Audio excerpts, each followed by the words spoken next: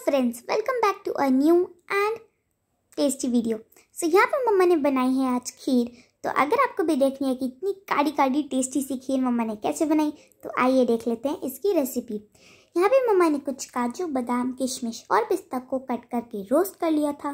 इनको अच्छे से रोस्ट करने के बाद मम्मा ने इनको एक अलग बर्तन में निकाल लिया है। अब मम्मा ने थोड़ी देर के लिए इन चावलों को भिगो के रखा था। इनको हाथ से अच्छे से मैश कर लेना है और करीब दो तीन मिनट के लिए इनको भी हल्का सा रोस्ट करना है। सादा रोस्ट चावल को ना करें। यहाँ पे मैंने करीब चार कप दूध लिया है और जब तक अच्छे से उबाल नहीं आ जाए तब तक इसमें कुछ ना डालें। जब इसमें अच्छे से उबाल आ जाए तो इसमें चावल और अपने ड्राई फ्रूट्स डाल दें, जो कि हमने रोस्ट करे थे। अब इसको अच्छे से पकाना है। जितने ज़्यादा आप अपनी खीर को पकाएँगे, उतनी ज़्यादा गाढ़ी और बहुत डिलीशियस बनेगी आपकी खीर।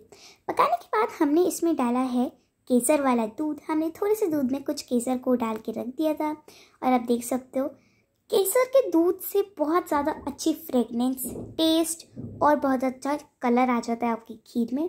अब डाल दें इसमें चीनी। चीनी आप अपने स्वाद अनुसार डालें। मम्मा ने यहाँ पे आधा कप चीनी डाली है।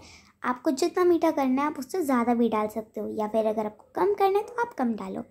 यहाँ पे हमने इलायची को थोड़ा दरदरा कूट लिया था। उसके बाद हमने इसमें डाल दी है। यहाँ पे हमने थोड़े से गोले को कस लिया था कद्दूकस से, और उसके बाद इसमें डाल दिया। अब इसको अच्छे से पकाने के बाद आप देख सकते हो कितनी टेस्टी सी खीर लग रही है। अगर आपको भी ये ट्राई करना है तो कमेंट्स में बताएँ। मिलते हैं नेक्स्ट वीडियो तब तक के लिए बाय बाय